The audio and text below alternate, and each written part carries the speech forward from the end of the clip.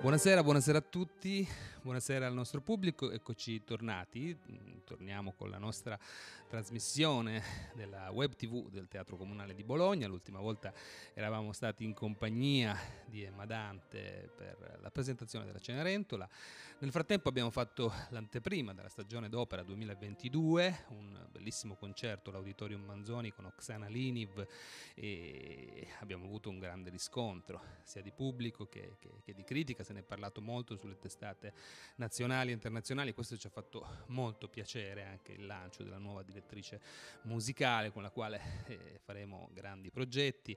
Già lì, l'anteprima è stata un bellissimo concerto, un concerto importante con un programma impegnativo, la, la Valchiria, di, di, il primo atto della Valchiria di Wagner e, e lo stesso Strauss, insomma è stato un momento interessante anche per la città perché era da un po' di tempo che non vedevamo un teatro teatro così pieno e così interessato.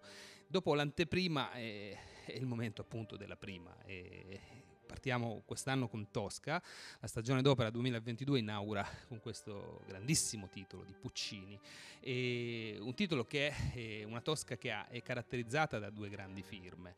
E la prima è la firma alla regia di Ugo Deana, uno dei grandi maestri del teatro all'italiana, un regista che ha girato i palcoscenici di tutto il mondo e che ha fatto la storia del teatro all'italiana assieme a pochissime altre firme veramente importanti come Pierluigi Luigi Pizzi, Pieralli, Cobelli, insomma tutti protagonisti tra l'altro anche di una stagione storica del teatro comunale e quindi il ritorno di Ugo Deana è molto importante anche perché è importante dare spazio anche alla, alla scenografia, al teatro di regia e secondo me questa Tosca eh, sarà molto diciamo da, da scoprire ecco, eh, su, sotto questo aspetto.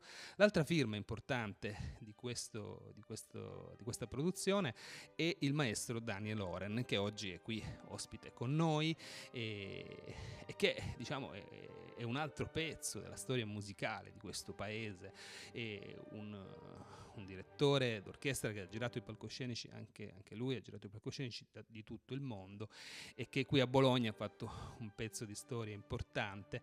Lui inizia giovanissimo, israeliano, inizia però nella Germania, allora si chiamava Germania dell'Ovest, e inizia già, già diciamo, alla fine degli anni 70 e poi arriva in Italia e ci racconterà anche eh, diciamo, la sua carriera eh, in Italia e inizia con Manon Lescaut e subito dopo con, con Tosca, credo, all'Opera di Roma e con diciamo, una serie di titoli importanti, poi diventa uno dei protagonisti del, del Festival dell'Arena di Verona e poi tutti, tutti, i teatri italiani hanno ospitato eh, Daniel Oren. E lui è, è, diciamo, è uno dei pochi artisti che può vantare tra, tra le sue diciamo, direzioni, tra le sue collaborazioni, appunto, eh, grandi nomi, eh, da, da, da, Luciano Pavarotti a Placido Domingo, per intenderci, molto importante, ormai circa 25 anni fa, è stata la sua ultima produzione fatta proprio qui al Teatro Comunale di Bologna ed è stata una fedora con, con Mirella Freni, di cui spero ci, ci, ci racconterà eh, nel, nel, proseguo della discussione. Eh, Daniel Loren, tra l'altro, è stato con noi in un momento importante della storia di questo teatro, che eh, noi speriamo non si ripeta più. Eh, mi riferisco al lockdown dell'anno scorso, del 2021, e quando abbiamo fatto la, una piccola stagione sinfonica in streaming offerta al nostro pubblico di YouTube, al quale vi invito a iscrivervi, e troverete ancora la registrazione di quel bellissimo concerto eh, fatto nella sala vuota, svuotata dalle poltrone del teatro, con al centro l'orchestra e appunto il maestro Daniel Oren eh, che diresse questo concerto. L'estratto riguarda eh, il secondo movimento, la fine del secondo movimento della sinfonia di Tchaikovsky e sarà molto bello appunto eh, vedere questo, questo, questo, momento molto importante, un momento e forte della storia del teatro perché appunto allora si suonava esclusivamente per, per, il teatro, per dare ancora vita alla musica in un momento in cui il pubblico era assente, è stato assente per molti anni e finalmente sta, sta iniziando a tornare. Quindi vi lascio con questo piccolo estratto musicale eh, del, del, del concerto e poi iniziamo la nostra chiacchierata.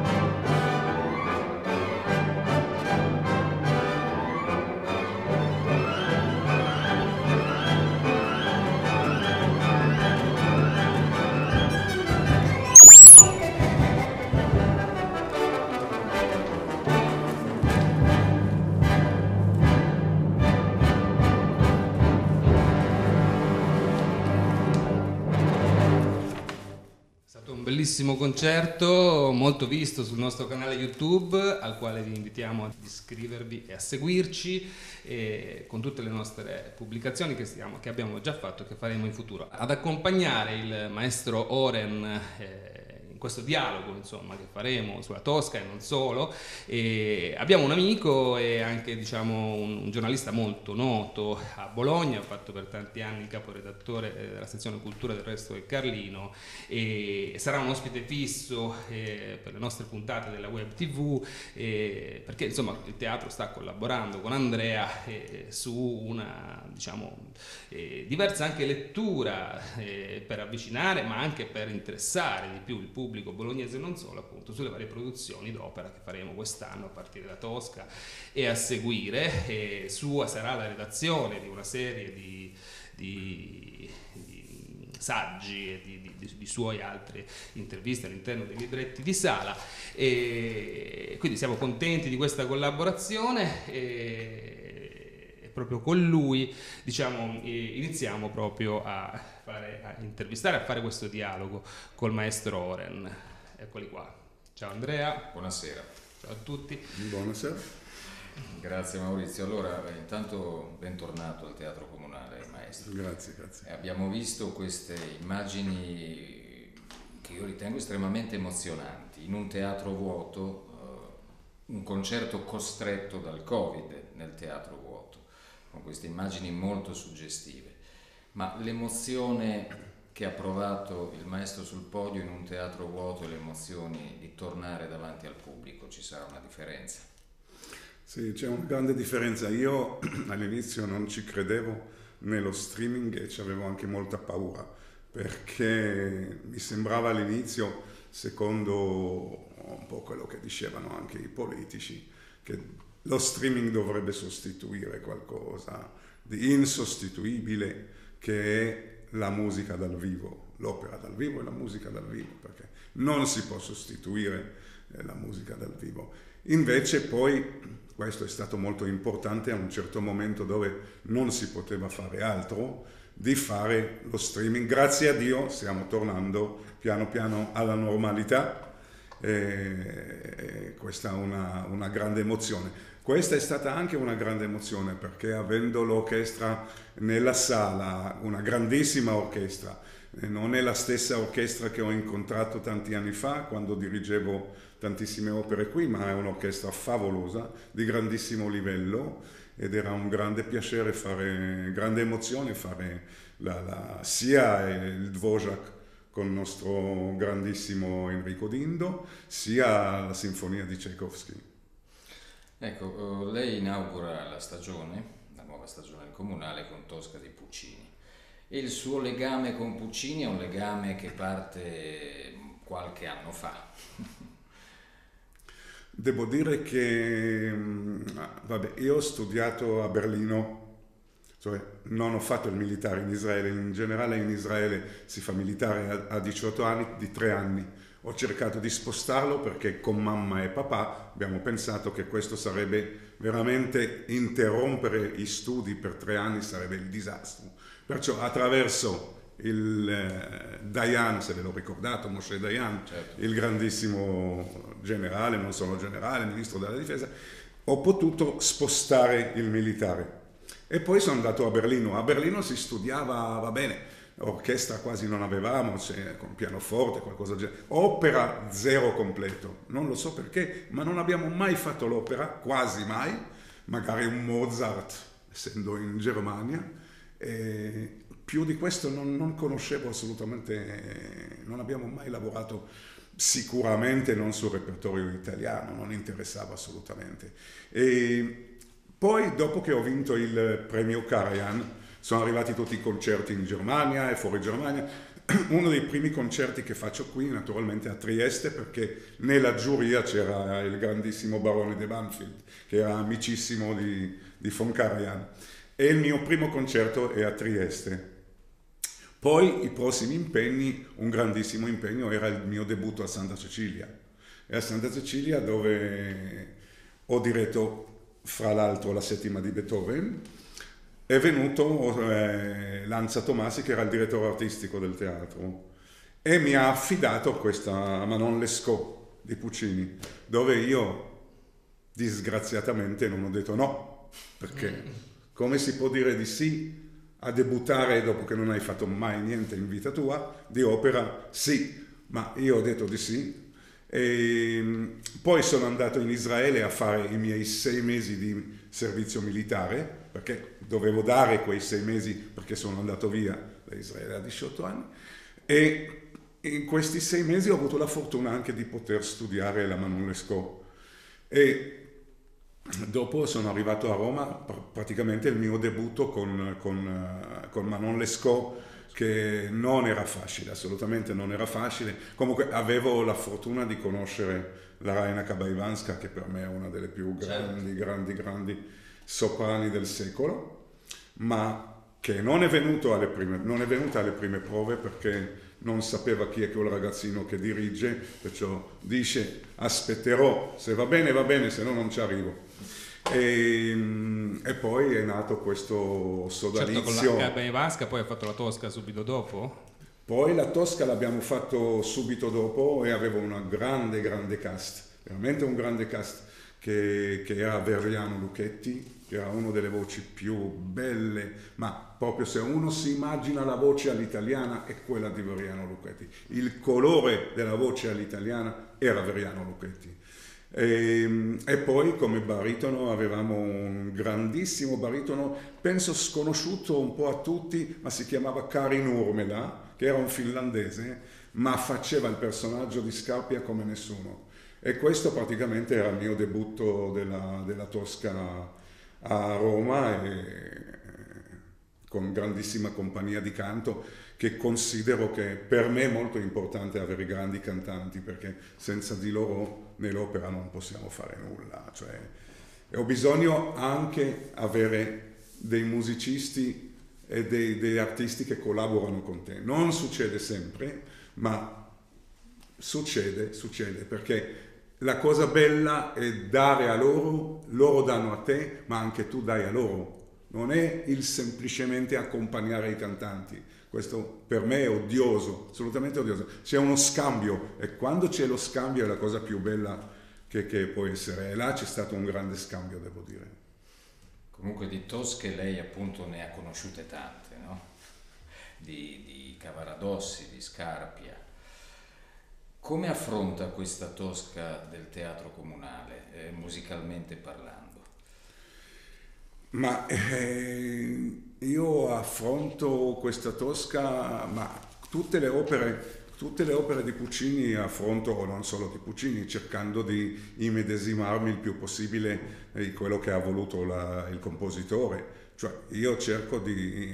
Non ho vergogna, oggi probabilmente ci sono tantissimi che non vogliono assolutamente eh, approfondire e pensare cosa ha voluto Puccini. Questo è diventato quasi quasi una vergogna, cioè di Intanto sappiamo che Puccini ha scritto tutto quello che ha, che, che, che ha voluto. No, cioè, se pensiamo alla Bohème, per esempio, quando lei, lei, lei, arriva alla Bohème, ci sono addirittura i tre pizzicati quando lui, Rodolfo, cerca a, a farla rinvenire, no? a tornare alla vita, dopo che lei sviene e ci sono le indicazioni, c'è tutto, Puccini ha scritto tutto, tutto, tutto. Oggi c'è un po' la moda di fare tutto il contrario, di non rispettare l'autore, di non rispettare Puccini. Questo non, è, non era mai il mio caso e non sarà mai il mio caso perché io per me Puccini è, è sacro, è sacro lui, è sacro quello che ha scritto e io cerco di rispettare il più possibile Puccini, naturalmente dando anche quello che ho da dare io alla partitura. Ovviamente. Ecco, qualche musicologo sicuramente più esperto di me ha parlato di anche una, un'estrema modernità della partitura musicale di Tosca, addirittura accennando a un inizio di dodecafonia, per esempio nelle tre note di Scarpia. Lei è d'accordo? Sì, sono d'accordo, sono d'accordo, assolutamente sì.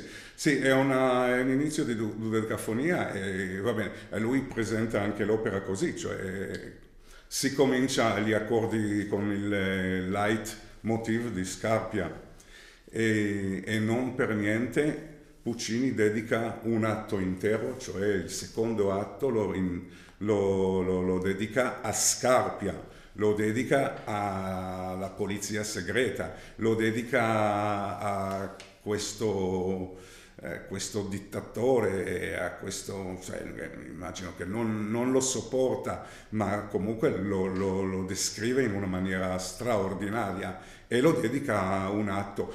Devo dire solo una cosa, devo dire al pubblico e anche non solo al pubblico che a causa del Covid l'orchestrazione di questa Tosca non è esattamente l'orchestrazione di Puccini.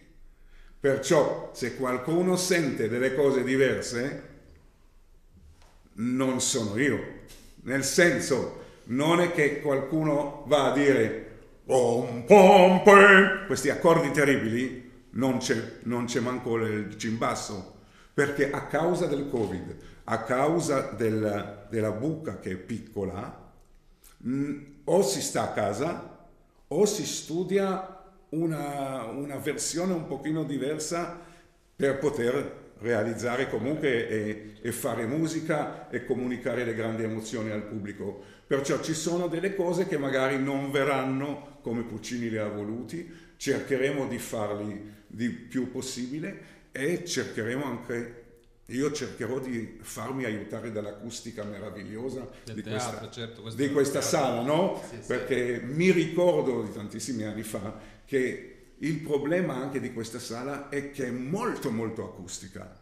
Allora l'organico è un organico un po' diverso. Beh, ricordiamo anche che il nostro teatro ha, ha, un'acustica importante perché intanto è stato progettato da uno dei più grandi sì, architetti della storia del, di progettisti a teatro che è appunto il Bibiena e soprattutto è stata pensata con una parte sotto la platea che dove attualmente c'è un macchinario degli inizi del Settecento che serviva per, per buttarla su che fa da cassa armonica perché sotto c'è, c'è un grande vuoto è questa, questa, questo meccanismo per il quale si restituisce l'acustica. Quindi eh, si dice che il teatro comunale sia uno que- di quelli che acusticamente rendono meglio diciamo tra i vari teatri eh, dell'opera italiana ma io penso assolutamente è vero così, è un'acustica veramente particolare quella di, del Teatro Comunale di Bologna e io spero che da, da oggi, e vedremo cosa succederà, cercherò di farmi aiutare da questa acustica meravigliosa del teatro dove c'è la diminuzione addirittura dell'orchestra, degli archi eccetera,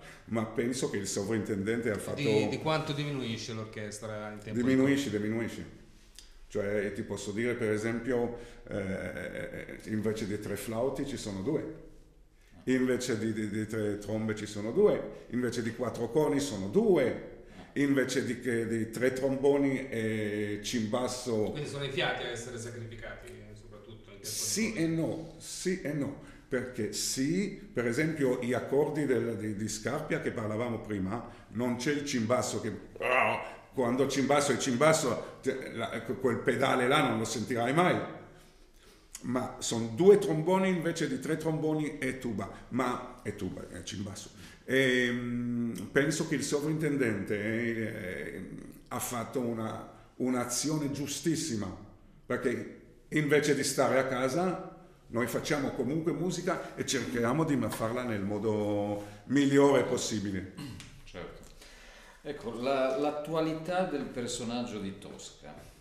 Lei, se non sbaglio, ha parlato di una Tosca comunque proto-eroina femminista, forse una delle prime dell'opera lirica, sì, se sì, non la sì. prima. Assolutamente sì, perché penso che è una delle prime eroiste eh, femmin- femminili e nel, nella storia dell'opera ci sono tantissime eroine femminili che, che, conosciamo molto importanti come Traviata, come Rosina, come Mimì, eccetera, eccetera. Ma penso che sono degli esempi di donna che, che rimangono in qualche modo passive.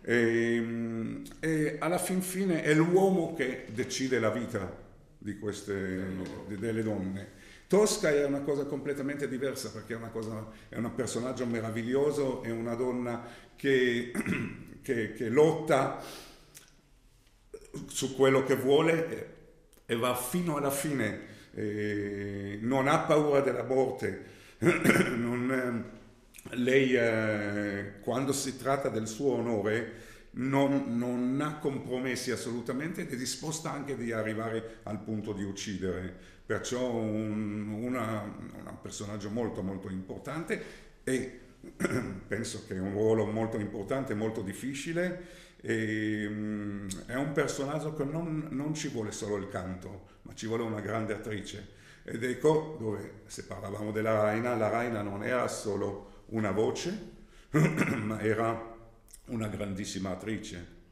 E qui abbiamo la, per esempio la Siri che è una delle, delle soprane più, veramente più belle di, di, di, del panorama di oggi, è Fatosca alla grande. Perciò sono molto molto contento, sì. Io amo molto giocare sui colori, in generale orchestra, eh, coro, sì, coro. Eh. fino a un certo punto perché qui non c'è molto coro, il Te Deum va cantato in voce, diciamolo così. Ehm, eh, ma Puccini, una delle cose più importanti di Puccini sono i colori.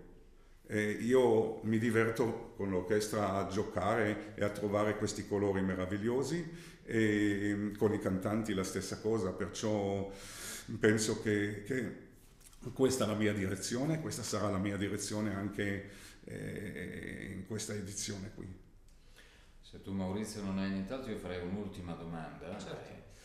Così andiamo a chiudere e, e, mi riallaccerei all'inizio. Allora abbiamo visto il teatro vuoto, adesso la vedremo in un teatro pieno, anche se con un'orchestra ridotta, ma probabilmente non, non sentiremo la differenza, grazie alla sua direzione. No, e... questo non, non, prometto questo. Va bene, però ce lo auguriamo. Che... C'è una certa probabilità. C'è una certa probabilità. Ecco, se lei, eh, un augurio che lei eh, lancia al mondo dell'opera, de, dei teatri che tornano a riempirsi perché stiamo vivendo una fase difficile, forse ne usciremo presto, ci auguriamo. Qual è il futuro del, del, di questo universo secondo lei? Dove andremo? Dove andrà l'opera? Allora, eh, quello che riguarda la pandemia, io spero veramente, come tutti noi, che, che, che fra uno o due mesi sparisce tutto, si torna a quello che, che abbiamo fatto prima. È il mio augurio che si torna a, a, almeno che si tornasse alla normalità, alla normalità che non sapevamo apprezzare prima.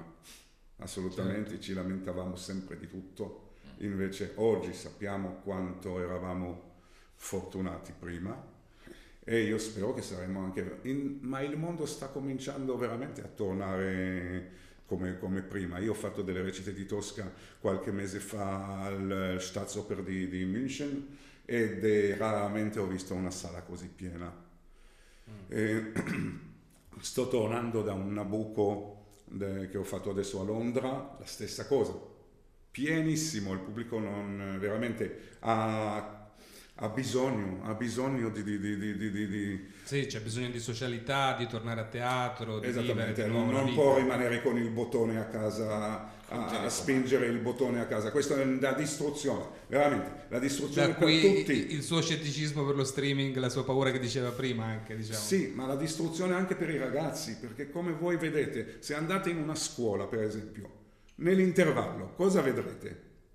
Non c'è più dialogo fra nessuno ci sono solo telefonini e ogni ragazzo sta con il suo telefonino e Whatsapp, gioca, eccetera, eccetera. Perciò il dialogo non c'è. Con questo Covid abbiamo peggiorato le cose, perché da casa vedi la partita con un bottone, vedi l'opera con una... Là è veramente... ci vuole, ci vuole, ci vuole assolutamente anche quel fatto là di essere insieme, certo. di dialogare, di scambiare opinioni di, di, e poi sentire la musica dal televisore è la stessa cosa, come sentirla in no, teatro, certo. viverla in teatro, come guardare un, un, un quadro di, di, eh, di, Goya, non è la stessa cosa guarda, andando in museo e guardandolo al computer. Perciò, ma non so se lei, adesso mentre parlava mi è venuto in mente, c'è una, una, serie televisiva su Netflix che si chiama Black Mirror, non so se lei l'ha mai No, non conosco. Beh, insomma, è, Io conosco un altro. del futuro e fanno vedere appunto tutte queste persone collegate costantemente con la tecnologia, interagiscono eh, sì. solo con i cellulari. In effetti questo periodo di Covid ci ha fatto un po' pensare a, a, a, veramente la degenerazione che può avere la tecnologia, invece il tatto del teatro, il contatto del teatro è veramente qualcosa di, di, di impagabile. Io volevo solo chiederle eh, un'ultimissima cosa.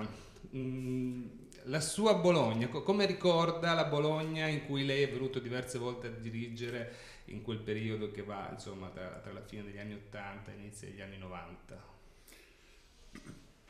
Eh, c'è un posto speciale del teatro di, comunale di Bologna, nel al Cuore, perché ho fatto qui delle cose molto belle, devo dire, in un periodo come ha detto lei prima, periodo d'oro del teatro, che penso che adesso sta ritornando a quel periodo d'oro, grazie al sovrintendente anche che siamo molto amici e ci conosciamo da tanti anni da Trieste. E, um, io mi ricordo che era un'emozione già camminare verso il teatro, perché questi arcovoli che ci sono, sì, cioè, ti danno un senso, un, un senso di protezione, di, cioè, è una cosa speciale, non c'è al mondo, penso, questa camminata che facevamo, che facciamo tutti, ancora oggi andando in teatro sotto questi arcovoli, è una sensazione veramente particolare. Entrando in teatro qui anche con il pubblico molto caloroso, molto competente, eh, io ho vissuto qui delle cose veramente molto molto belle, a parte il livello delle compagnie eccetera, ma che l'ultima è stata questa grandissima Fedora con la grandissima Mirella Freni e questa non se la scorderà nessuno, compreso me, perché è una delle più belle cose che potevano veramente esistere, quella produzione che abbiamo fatto con la Mirella Freni che rimane una delle, delle, delle, delle cantanti della storia della musica dei cantanti più belli che esistano al mondo mm. ha fatto solo quella con Mirella Freni o le è capitato? qui a Bologna sì ma se no abbiamo fatto tantissime cose anche tantissime Mimi, Adriana eccetera no? abbiamo collaborato molto e anche quando non aveva più 30 anni io ho fatto con lei per esempio la Bohème la prima volta che sono andato eh, a Roma con Bohème, perché io ho cancellato tantissime Bohème, è troppo difficile Bohème. Io ho paura quando studio le partiture, alle volte mi, mi, mi, ho un attacco di panico e lascio la partitura. No, il primo atto lo conoscete, è terribile, no? Già all'inizio là è terribile. E io studiavo e lasciavo e cancellavo. Poi l'occasione con il grande Cresci, sovrintendente di Roma, di avere Franco Zeffirelli per la prima volta a Roma al teatro con Bohème, edizione quella là fantastica, la più bella, quella della Scala, no? quella famosa. E là c'era Mirella Freni, e là c'era tutta sta gente fantastica, che era Alagna, e Ghiaurov, e, e questa era una, una grandissima, grandissima emozione. L'âge d'or del, del, teatro italiano fondamentalmente. Eh sì, eh sì. E poi c'era anche Luciano, a Torino abbiamo fatto il centenario, e c'era Luciano e Mirella insieme, e questi grandissimi cantanti. E Mirella, così umile, così carina, insegnava ai giovani, mi fermava le prove. Cioè io facevo le prove musicali, maestro ti posso fermare? Mi fermava e ci andava verso i giovani e li insegnava come dovrebbero fare quella frase. Anche in meno giovani. C'era allora la Daniela Mazzucato che era una musetta eccezionale e mi ha interrotto Mirella e ha cominciato a parlare con la Daniela in, dandogli un, un, personaggio mai visto, anche di cuore, anche un grande mensch come diciamo noi, grande essere umano la Mirella, è una grandissima perdita. Tutti questi grandi una perdita e non so quando tornerà una Mirella Freni, non so quando tornerà un Luciano, non, veramente non. Perché non anche Pavarotti ha fatto diverse produzioni. Tantissime cose, sì, tantissime cose. Quindi c'è la speranza comunque, maestro, in chiusura di riportare questi giovani, strappargli il telecomando, strappargli il telefonino, riportarli in un teatro a sentire o a scoprire l'opera lirica? Come si può fare? È, una, è un grande lavoro da fare perché a casa non, non c'è più quasi niente, perché prima l'educazione dei bambini partiva da casa, l'ascolto delle opere, della musica classica, eccetera, partiva da casa. Oggi mi sembra che non c'è quasi niente, poco, c'è poco, poche famiglie, perciò i ragazzi non conoscono niente. Televisione, zero, scuola, zero, come li vuoi, perché devono venire all'opera? Sì, ci sono delle iniziative che li portiamo, anche io a Salerno sto portando i ragazzi all'opera, alle prove, alla generale, eccetera, ma non è così facile perché non conoscono questo mondo, assolutamente non conoscono, si metteranno a ridere appena sentono una voce impostata. Eh, ma il lavoro va fatto e speriamo di recuperare questi ragazzi. Io penso che se si fa un certo lavoro molto serio e si porta i ragazzi alla produzione giusta, al titolo giusto, con i cantanti giusti, possiamo recuperare una parte dei giovani, ma non sarà facile.